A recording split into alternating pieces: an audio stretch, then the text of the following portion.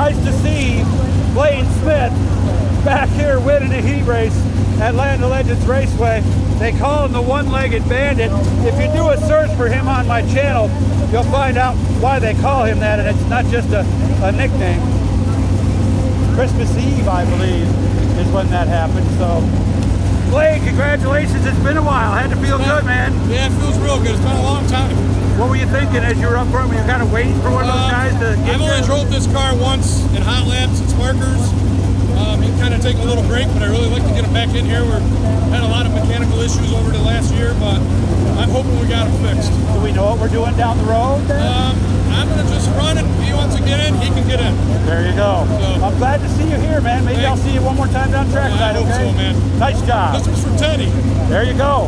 Clayton Smith with the win here in his qualifying heat.